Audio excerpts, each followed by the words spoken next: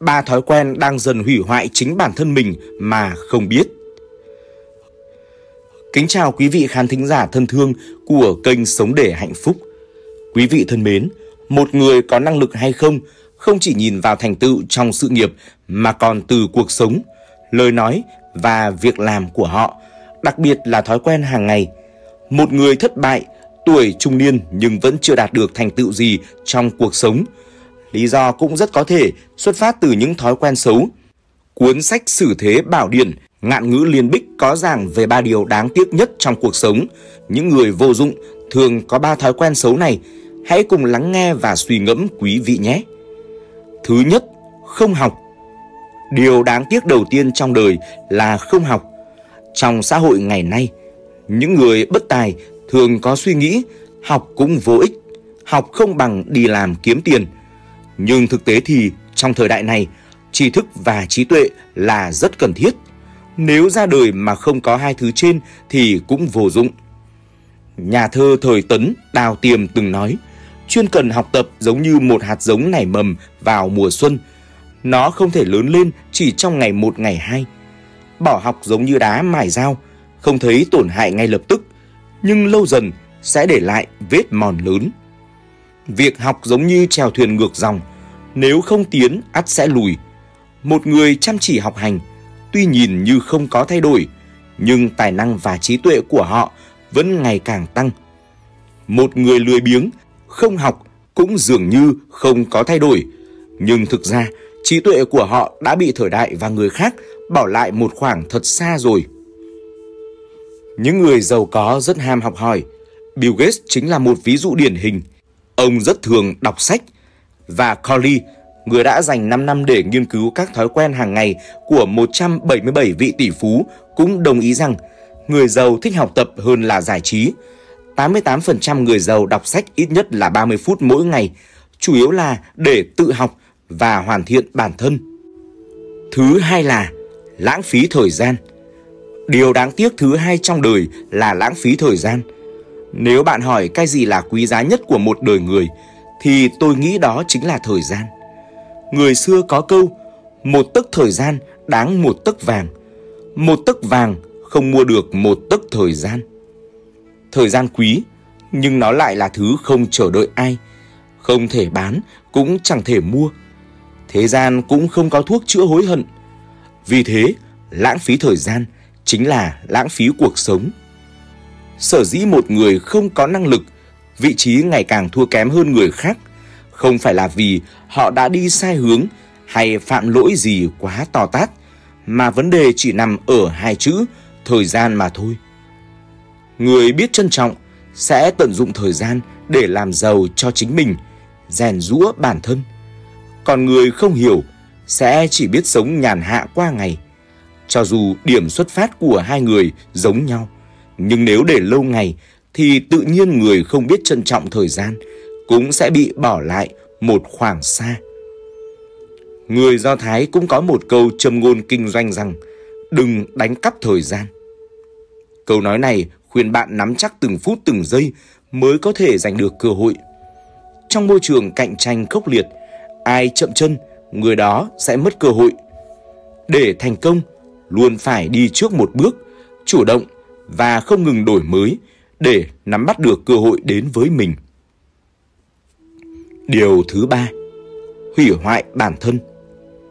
Điều đáng tiếc thứ ba của đời người là tự hủy. Con người ai mà chẳng gặp thất bại, khó khăn. Đó vốn không phải là vấn đề nan giải, không phải đường cùng. Nhưng nếu bạn lựa chọn bỏ rơi bản thân, tự hủy hoại thể chất và tinh thần, tổn hại đến thanh danh của mình thì đó mới là sự xa đọa thực sự. Rất nhiều người sau khi gặp nghịch cảnh và chịu thất bại sẽ nảy sinh ra một loại tư tưởng đã hỏng rồi thì cho hỏng luôn. Nhưng họ không biết rằng loại tư tưởng đó mới chính là thứ làm hỏng họ thật sự. Bị người khác đánh gục không đáng sợ bởi vì chúng ta luôn có vô số cơ hội để thắng lại. Nhưng nếu như bạn tự đánh gục bản thân, lựa chọn bỏ rơi chính mình thì lúc đó mới thật sự là thua cuộc. James Dyson là nhà sáng chế nổi tiếng người Anh. Giàu đến nỗi ông còn sở hữu nhiều đất hơn cả nữ hoàng. Trước khi thành công như ngày hôm nay, ông cũng đã từng thất bại đến 5.126 lần, nhưng ông chưa từng bỏ cuộc. Ông nói, đó vốn không phải là thất bại, đó là kinh nghiệm tích góp để đi đến thành công mà thôi. Quý vị thân mến, chúng ta đang sống trong một thời đại với sự bùng nổ của công nghệ thông tin. Dưới sự phát triển không ngừng nghỉ của thông tin, việc tiếp cận tri thức và thời sự ngày một dễ dàng. Những thông tin nóng hổi khiến chúng ta mất đi khả năng suy nghĩ có chiều sâu. Không chỉ có thông tin, xã hội hiện đại nhiều những vấn đề được quan tâm khác như vật chất, cám dỗ và cơ hội. Nhưng nhiều hơn chưa chắc đã tốt. Ngược lại, nó có thể khiến một số người ham muốn vật chất, cảm thấy lo lắng về tương lai và cảm thấy bối rối về sự lựa chọn của mình. Chuyên gia chỉ ra ba cạm bẫy của cuộc đời từng bước hủy hoại tương lai. Bạn có mắc phải hay không? Thứ nhất, bẫy vật chất. Xã hội phát triển, ngày càng có nhiều bạn trẻ theo đuổi cuộc sống xa hoa. Ham mê vật chất, họ thà chuốc nợ và duy trì sự vinh hoa giả tạo không tương xứng với thu nhập của mình.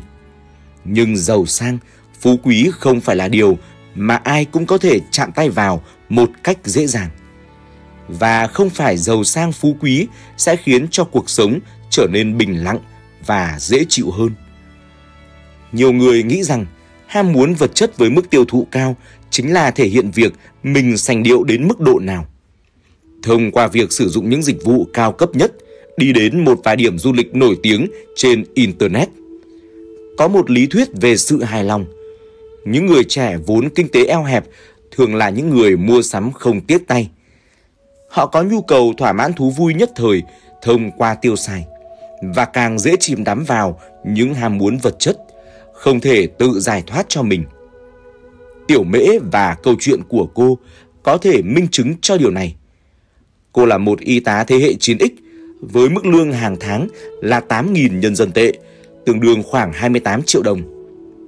Cô đã nợ hàng trăm nghìn tệ, tương đương hàng trăm triệu đồng khi vay trực tuyến để theo đuổi một cuộc sống xa hoa và cuối cùng bị bố mẹ đuổi ra khỏi nhà. Tiểu mê mỗi lần ra ngoài thì đều phải gọi xe đưa đón. Cô ấy phải đi ăn ngay lập tức khi thấy một nhà hàng nổi tiếng trên Internet. Không dừng lại ở đó, cô phải sở hữu tất cả những đồ trang sức đắt tiền và túi sách hàng hiệu mà đồng nghiệp có. Cuối cùng, tiểu mễ sống xa hoa bằng cách đi vay tiền và những khoản nợ của cô cứ ngày một chồng chất. Với số tiền lương ít ỏi, chưa chắc cô có thể trả đủ tiền lãi hàng tháng.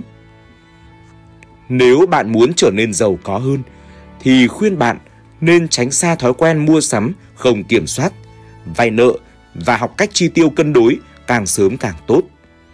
Hãy sống trong khả năng cho đến khi bạn trở nên thực sự giàu có và có thể tùy ý lựa chọn lối sống cho mình. Thứ hai, bẫy cơ hội. Đây có thể nói là thời đại của cơ hội, nhưng cơ hội thuộc về cả thời đại không có nghĩa là mọi cơ hội đều mang lại cái kết có hậu. Nhưng ai hấp tấp thử mọi cơ hội họ gặp được chắc chắn là người dễ thất bại nhất. Nhìn bao quát từ mọi khía cạnh, bạn phải kiềm chế vô số cám dỗ. Giữ trái tim kiên định và một cái đầu lạnh. Bạn không nên quá bận tâm đến những biến động giá ngắn hạn, tin tức nóng hổi, cơ hội hay thành công của người khác. Bạn chỉ cần tập trung vào giá trị lâu dài của mình và xây dựng sản phẩm hoặc năng lực cốt lõi, chịu được thử thách của thời gian. Bạn không cần phải tìm kiếm cơ hội và thay đổi hướng đi thường xuyên. Bạn chỉ cần tìm một lĩnh vực tốt để làm việc chăm chỉ, nhìn rộng, học sâu và duy trì lợi thế của bản thân. Lâu dài, bạn chắc chắn có thể giành chiến thắng. Điều thứ ba, bẫy năng lượng.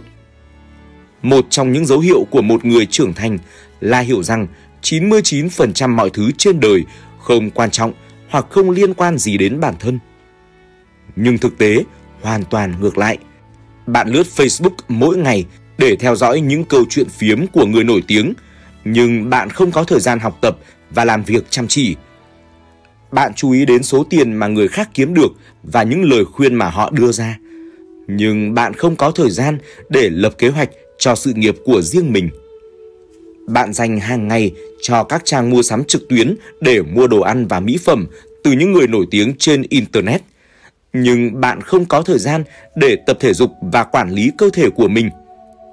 Bạn đang suy nghĩ về món đồ, những cửa hàng nào đang giảm giá mỗi ngày, nhưng bạn không có thời gian để nghĩ cách kiếm tiền hiệu quả. Chính những điều không quan trọng này đang rút cạn nguồn năng lượng quý giá của bạn.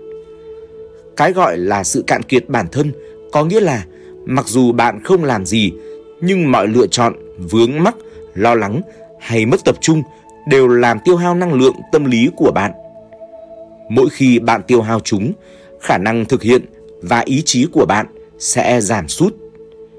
Đó là lý do tại sao những người đơn giản thường đem lại hiệu quả hơn. Những người biết kiềm chế hơn sẽ tiến xa hơn. Vì họ biết điều gì thực sự quan trọng. Họ dành thời gian học tập, làm việc, cho gia đình, tận hưởng cuộc sống và tránh xa những thứ hầu như không quan trọng đối với bản thân.